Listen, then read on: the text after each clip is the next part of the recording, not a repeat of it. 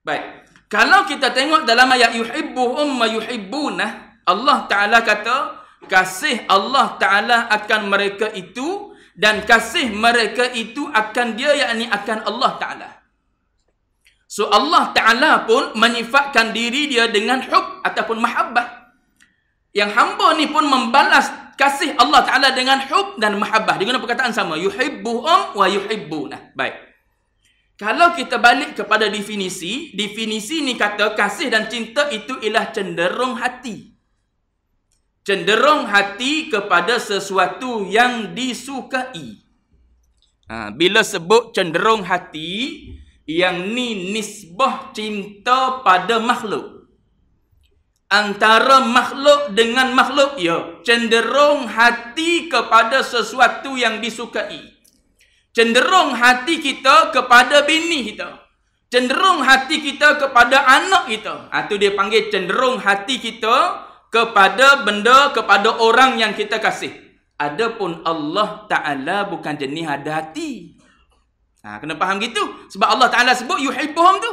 Dia kasih kepada mereka. Ada tarif tarif cinta dan kasih cenderung hati kepada sesuatu yang disukai. Dan Allah Ta'ala ada hati kau. Ha, sebab tarif dia mailul qalbi, cenderung hati. Ha, jadi ulama jawab lalu. Supaya orang awam macam kita ni tak keliru. Ha, dah Allah Taala ada hati lah supaya kita sebiji. Ha, jadilah Allah Taala tu makhluk yang berhati pula. Ada hati. Bila dia cenderung hati dia pun apa bila dia kasih hati dia cenderung pada kita. Jadi ulama jawab kasih Allah Taala iaitu dengan makna bukan cenderung hati cenderung ihsan Allah Ta'ala pada hamba. Ha, gitu. Ha, cara ulama jawab tu nak keluarkan kita daripada terpinga-pinga. Duk fikir dah mailul qalbi. Kata mailul qalbi. Cenderung hati. Ha, cenderung hati Allah Ta'ala gitu juga. Ha, maknanya Allah Ta'ala hati. Dah, cenderung Allah Ta'ala ialah cenderung ihsan Allah Ta'ala. Kasih Allah Ta'ala pada hamba dia. Ha, sebab Allah Ta'ala bukan jenis berjisim bukan jenis berjirim. Adapun kita sama-sama makhluk, ya, sebab kita ada hati. Maka cenderung hati kita kepada yang kepada apa? Kepada sesuatu yang kita sukai. Baik. Itu ha, cenderung hati kepada sesuatu yang disukai. Dan bahawasanya tiap-tiap yang sedap itu dikasihi akan dia. Ha, itu tabiat semula jadi. Ha, tabiat semula jadi kita semua memang suka kepada benda-benda yang sedap. Ha, tapi bukan semua benda yang sedap boleh bawa kita ke syurga. Ha, kena ingat itu. Ada benda yang sedap akan bawa kita ke syurga. Ada benda yang sedap akan bawa kita ke neraka. Ha, kita kena faham itu. Ha? Tabiat semula jadi kita akan cinta, akan kasih kepada sesuatu yang menyeronokkan. Sesuatu yang sedap. Apa yang sedap? Rehat. Rehat satu salah satu daripada benda yang menyeronokkan. Yang menyedapkan. Duduk di rumah berehat di bawah apa? Di bawah kipas, di dalam aircon di rumah kita. Sambil-sambil mengadap tengok keputusan Sukan C Malaysia di tangga ke berapa dah. Sedap kan? Duduk di rumah tak ada orang ganggu kita. Ha? Duduk, nak duduk di apa? Bernyanda di sofa pun boleh. Nak, nak duduk atas latar, berbaring pun boleh. Tak ada orang ganggu kita. Cuma mari duduk di masjid, duduk dalam ni kawasan orang mengajar ni, kita duduk baring. Mesti orang tegur. Ha, orang tak pernah orang buat pun. Orang kata dia ni naik apa, buang tabiat apa. Ha? Dah tua datang nyanyuk kot dia ni. Ha, boleh jadi orang kata gitu. Tapi kita, kita duduk di rumah, tak ada orang tegur nak bergolek kau nak berguling kau nak atas duduk atas kursi baring kau kaki nak letak apa di dinding kau macam mana cara tak ada orang marah. Tu seronok kita berehat. Tapi adakah kerehatan begitu bawa ke syurga? Ataupun kerehatan yang begitu bawa ke neraka? Ha tu sedap tu tabiat semula jadi. Semua orang suka. Makan makanan yang sedap tabiat semula jadi. Tapi adakah makan makanan yang sedap tu bawa kepada syurga ataupun makin menjauhkan kita daripada neraka daripada syurga. Apa tu dalam bab awal-awal dulu dia cerita bab syarahut ta'am. Loba atas makan, ha, tamak pada makan ataupun suka makan. Ha, terlalu terlampau suka pada makan. Salah satu daripada asbab yang mendatangkan sifat madmumah pada itu. Maka keseronokan yang datang daripada syarahut ta'am, terlampau suka makan ni bukan mendatangkan kebaikan pada hati, pada jiwa, pada diri, bahkan menjauhkan kita daripada Allah Subhanahu wa taala. Baik. Dan dikata bahawasanya tiap-tiap yang sedap itu dikasihi akan dia tu tabiat semula jadi dah. Dan jika kuat kasih, jika kuat kasih itu dinamakan dia dia kuat kasih tu ishqun. Nah, dia betulkan nama. Tadi daripada hub. Kemudian bila cinta tu terlampau kuat, terlalu kuat, maka dia beralih kepada satu nama lain iaitu ishqun nama dia. Ishqun ni ialah rindu. Ha, rindu dendam lah kita terjemah dalam bahasa Melayu kita. Rindu dendam. Ha, itu dalam bahasa Melayu. Baik.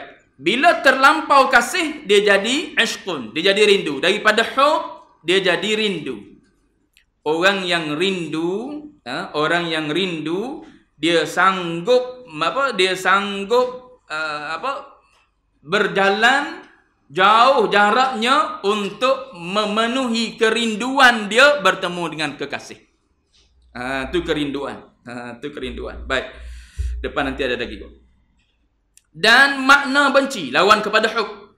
Dan makna benci itu liar hati daripada suatu kerana keadaannya keadaan suatu itu menyakiti. Ha sebut tadi. Ha? Benci ni ialah liar hati daripada suatu kerana keadaannya menyakiti. Liar hati. Ha? Liar hati maknanya walaupun lisan kata suka walaupun lisan kita kata sayang. Ha? Suka tak pergi masjid? Suka. Tak ada orang kata tak suka rasa Tuan-tuan tanyalah siapa-siapa. Suka ke pergi masjid? Suka. Tapi tak pernah sapa pun muka ni masjid. Ha, tu dia panggil liar tu. Suka ke dengar orang mengajar? Suka. Tapi tengok-tengok lepas mayan dia. Mula tengok soh mana lompong aku nak keluar. Assalamualaikum. Assalamualaikum warahmatullahi Ada ruang tak belakang? Aku nak keluar ni. Cambaknya lah orang belakang ni masbuk semayang. Aku nak keluar ni. Ha, kalau tu imam dah selesai wirid nak buat dia aku lagi malu nak keluar. Ha, kena keluar cepat-cepat ni. Ha, yang tu yang siapa peringkat. Ha, tak apa tak tak senang duduk tu tengok kiri kanan kiri kanan. Ada orang selesai je terus keluar. Tapi kalau tuan-tuan tanya dia suka tak majlis ilmu? Suka. Itu dia panggil dakwah. Dakwaan dia panggil. Mana bukti kau cinta? Aku tak pernah nampak pun kau di sini. Tak ada lah kita tak menghukum. Dia boleh jadi dia pergi tempat lain di Masjid Salahuddin ada masjid apa? Surau Al-I'tisamiyah ada tak? Surau Al-I'tisamiyah kan? Ha, surah I'tisamiyah ada di flat ni ada mana-mana pada orang ajar. Cuma nak beritahunya, andai orang tersebut kata dia suka majlis ilmu tapi tak pernah hadir mana-mana majlis ilmu. Ha tu maknanya liar hati dia. Daripada majlis ilmu tu sebenarnya benci maknanya. Benci aku tak suka pada majlis ilmu tapi bila orang tanya, mulut mendakwa bahawa dia kasih. Itulah ibarat dia. Ha? Kalau cinta kita pada Allah Taala pun begitu juga. Ha? cinta pada Allah Taala semua mendakwa, tak ada orang yang mendakwa dia tak cinta pada Allah Ta'ala. Terutama yang ada dalam surah ni lebih-lebih lagi. Kalau tanya, kalau boleh pak kaki yang tangan angkat semua. Cinta tak pada Allah. Kaki dua, tangan dua, angkat belakang. Cinta pada Allah Ta'ala. Tapi tengok cara duduk, tak pernah nak zikir. Ha, tengok cara duduk, amat ibadat tak bertambah. Ha, lebih suka lagi kalau tak sempat semayang sunat lagi aku suka dia tu. Sebab tu mari lewat balik awal. Sebab apa? Mari lambat orang dekat nak komat tak sempat lah nak semayang sunat. Ha, tu ayat dia. Ha? Kalau jauh kan orang nak semayang sunat belakang kita tak semayang sunat nampak sangat dia ni tua-tua tak sedar diri orang kata. Nah, semayang lah sunat dua rakaat. Tak apalah buat kerana orang dah tu. Tak apalah permulaan buat kerana orang pun. Cuma nak beritahunya cari jalan juga ke mana eh? Ha, mari lewat sikit dah tu. Sebab apa? Sebab masjid ni dia akan tunggu 10 minit. Selepas daripada azan 10 minit. Ha, 10 minit tak apa lagi. Duduk dulu tengok TV di rumah dulu. Dekat-dekat orang nak komak, barulah turun. Ataupun punya orang komak, dia kata sempat lagi. Aku duduk depan tu je. Mari, takkan nak mari surah ni dia tu. Ha? Bunyi orang komak sempat lagi. Orang baca fatihah sempat lagi dia tu. Ha, mari orang baca fatihah. Tapi kalau tuan-tuan tanya dia sayang daripada Allah, pak kaki akak pak kaki pula. Dua kaki, dua tangan akak suka dan sayang pada Allah Taala. Ha, tu itu dakwaan yang kita buat. Padahal hati kita liar daripada apa? daripada menyintai Allah Subhanahu wa taala. Gitu. Dan jika kuat oleh benci itu, kebencian itu meluap-luap. Apa nama dia? Ha, daripada nama benci, daripada nama karahah dalam bahasa Arab dia. Ha, dia akan berubah kepada satu nama lain, iaitu marah dan murka. Digi kepada ghadab. Ha, bila benci itu meluap-luap, dia jadi kepada, dia bertukar kepada marah. Supaya kita lah. Ha, supaya kita, kalau orang buat khianat sikit-sikit, boleh jadi kita benci. Ha, sebab apa? Kita mampu tahan lagi, sabar lagi. Kita mampu sabar lagi dengan apa? Dengan kerana orang khianat pada kita tu. Sebab dia baru buat sikit-sikit. Tapi bila dia buat banyak dah pada kita, kita tak mampu tahan sabar dah, ha, dia keluarlah marah. Ha, mula-mula benci. Bermula daripada benci, yakni hati kita liar. Dah mula jauh daripada orang ni. Mula kita nak meninggalkan dah orang ni. Kalau bini kita, mula nak cari orang lain dah tu. Ha, tak kita tuan-tuan. Ha? Mula nak cari orang lain lah. Sebab apa? Hati dah mula liar dah. Aku suruh tu apa aku suruh suruh pakai tudung labu tak dengar. Aku suruh pakai baju kurung tak dengar juga. Aku suruh itu ini tak ingat tak dengar juga. Ha, mula hati kita mula liar, liar. Tapi masa tu tak berhenti lagi daripada suruh. Suruh dan suruh dan suruh. Last kali marah. Last kali marah tak dengar juga, last kali pisah. Ha gitu. Sebab hati dah makin jauh, makin jauh, makin jauh dah dengan dengan asalnya dia adalah kekasih kita dulu. Ha, hati makin jauh maka menyebabkan apa berlakunya perpisahan. Itu kalau dengan manusia, dengan Allah Taala begitu juga. Ha, baik. Dan jika kuat oleh benci itu dinamakan dia marah dan murka. Dan bahawa bahawasanya sebab bagi kasih dan bahawa bahawasanya sebab bagi kasih itu dua perkara. Ha, dua perkara ni dihurai nanti. Pertama berbuat baik. Pertama eh, sebab bagi kasih, sebab bagi cinta ni yang pertamanya ialah berbuat baik. Ha? Berbuat baik ni baik pada syarak. Ha? Baik pada syarak bukan baik pada adat ataupun baik pada perkiraan kita. Ha? Boleh jadi ada orang nak pinjam duit dengan kita. Ha? Nak pinjam duit. Awak mana? Nak tikam toto. Kita pun bagi. Ha, nampak baik tu. Baiklah tolong dia. Eh pinjam duit boleh boleh RM100. Wah menda aku tak ada duit ya. Nak menda RM100. Nak tikam toto. Ha, ambil eh. Ha, tu nampak baik tolong tu. Tapi pada syarat tak baik. Ha, pada syarat tak baik. Ha, kita tahu dia nak guna duit tu untuk apa? Ha, untuk beli arak. Ha, untuk beli apa? Beli benda yang tak berfaedah. Bahkan mendatangkan dosa pada dia. Ha, maka kita menolong Zahir nampak tolong tu. Ha, tapi pada hakikatnya pada syarak dia adalah benda yang tak baik. Jadi baik ni diukur pada syarak. Ha, baik tu diukur pada syarak. Ha, baik. Pertama berbuat baik. Nanti dihurai satu-satu. Yang kedua keelokan. Salah satu daripada sebab juga yang mendatangkan kasih dan cinta ialah keelokan. Baik. Maka kasih, ha, fa tafsir dia panggil maka kasih kita akan Allah Ta'ala kerana tiada yang berbuat kebajikan bagi kita pada hakikat melainkan Allah Ta'ala. Adapun yang lain daripadanya daripada Allah, maka berbuat kebajikan ia-ia yang lain akan kita dengan petunjuk daripada Allah. Ha, itu yang pertama. Ha? Yang pertama dia kata berbuat baik. Kena tilik gini. Ha? Kena tilik gini. Sebab tu alamatul ma'rifah al-mahabbah. Tanda orang tu makin makin apa makin kenal akan makin bertambahlah cinta dia pada Allah Taala. Alamatul mahabbah apa alamatul ma'rifah al-mahabbah. Tanda tanda apa tanda tanda seseorang itu makin kenal Allah Taala dia akan makin cinta pada Allah Taala. Ha, maka dia sebut contoh. Ha? Kasih kita akan Allah kerana tiada yang berbuat kebajikan bagi kita pada hakikat melainkan Allah Ta'ala. Ayat ni ni menterjemahkan kalimah tauhid kita ni. Menterjemahkan kalimah La ilaha illallah. Ha? La ilaha illallah ni boleh letak di mana-mana. Tiada yang paling baik kecuali Allah Ta'ala. Tiada yang paling pemurah kecuali Allah Ta'ala. Tiada yang paling kaya kecuali Allah Ta'ala. Tiada yang paling berkuasa kecuali Allah Ta'ala. Tiada yang punya kerajaan paling sempurna kecuali Allah Ta'ala. Itu boleh letak belakang. Ha, maka pada hakikatnya yang melakukan kebaikan ialah siapa? Allah. Ha, sebab tu ha, Allah Ta'ala sebut dalam ayat yang saya bacakan tadi. Yuhibbuhum wa yuhibbunah. Dalam masalah cinta ni Allah Ta'ala memulakan dirinya menyintai.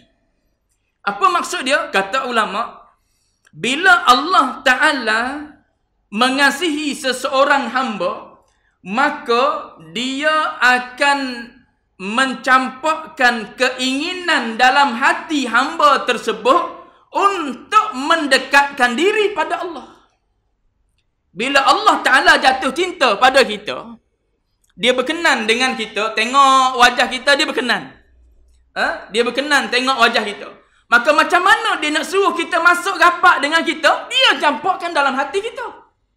Dia campurkan dalam hati kita keinginan untuk mendekatkan diri pada Allah.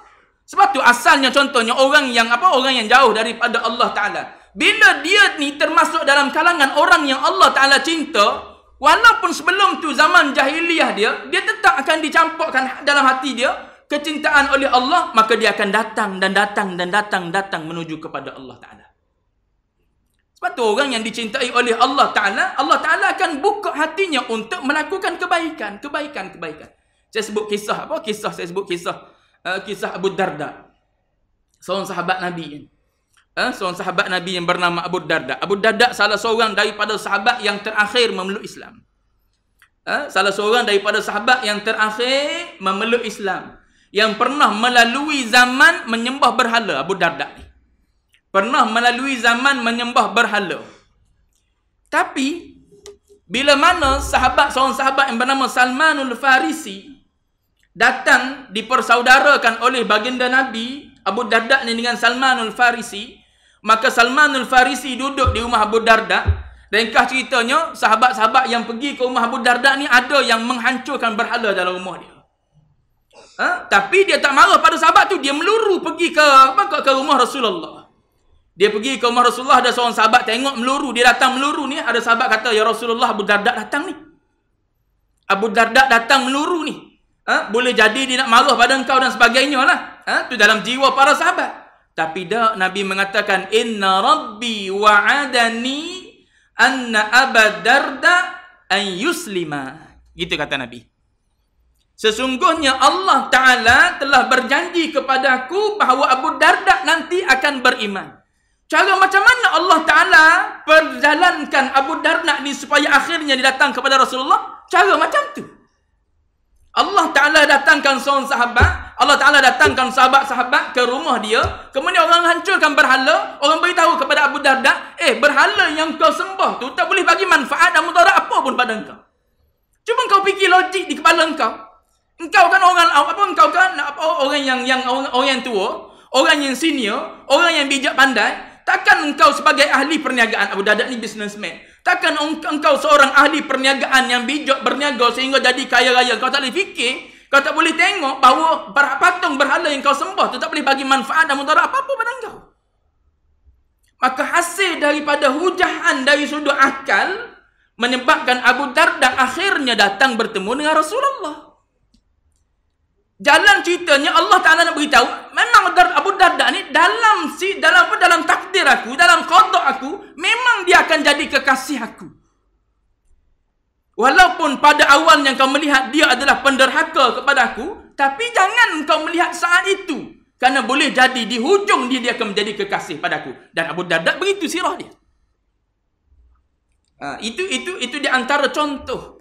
Di antara contoh apa uh, bagaimana Allah Subhanahu wa taala bila dia kasih kepada seorang hamba, kasih yang datang yang yang datang dalam jiwa hamba itu sebenarnya datang daripada Allah datang daripada Allah Taala. Andai datang daripada makhluk sekalipun, pada hakikatnya kata Syekh, dia kata pada hakikatnya pun dia datang daripada Allah Taala. Bukan datang daripada bukan datang daripada makhluk tadi. Ha, tu dia kata yang berbuat baik yang berbuat kebajikan pada hakikatnya ialah Allah Taala. Adapun yang lain daripadanya daripada Allah Taala, maka berbuat kebajikan ia yang lain daripada Allah tu akan kita dengan petunjuk daripada Allah Taala. Semua tu taufik daripada Allah Taala belaka. Ha? Ha gitu.